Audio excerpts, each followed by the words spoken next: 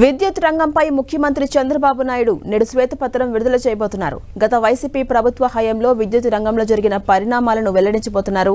గత ప్రభుత్వం ప్రజలపై మోపిన భారాలు విద్యుత్ సంస్థలు చేసిన అప్పులపైనే ముఖ్యంగా వెల్లడించే అవకాశం ఉంది. గత ప్రభుత్వంలో విద్యుత్ రంగం అప్పులు ఒకటి పాయింట్ ఒకటి రెండు లక్షల కోట్ల వరకు చేరుకున్నాయని అధికారులు లెక్క తేల్చినట్టుగా తెలుస్తోంది.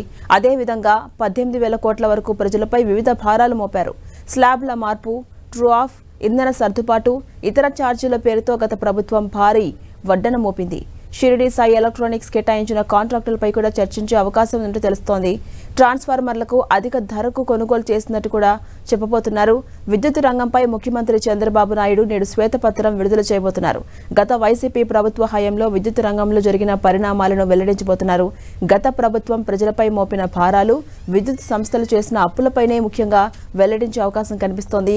గత ప్రభుత్వంలో విద్యుత్ రంగం అప్పులు ఒకటి పాయింట్ ఒకటి రెండు లక్షల కోట్ల వరకు చేరుకున్నాయని అధికారులు లెక్క తేల్చినట్టుగా తెలుస్తోంది. అదేవిధంగా పద్దెనిమిది వేల కోట్ల వరకు ప్రజలపై వివిధ భారాలు మోపారు. స్లాబ్ల మార్పు ట్రూ ఆఫ్ ఇంధన సర్దుబాటు ఇతర ఛార్జీల పేరుతో గత ప్రభుత్వం భారీ వడ్డన మోపింది. షిరిడి సాయి ఎలక్ట్రానిక్స్ కేటాయించిన కాంట్రాక్టులపై కూడా చర్చించే అవకాశం ఉందని తెలుస్తోంది.